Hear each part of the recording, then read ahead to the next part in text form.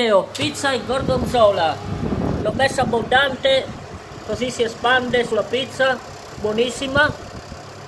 Il video viene come viene perché il video zoom non viene, ok? Che buona la pizza con tanta tanta gorgonzola.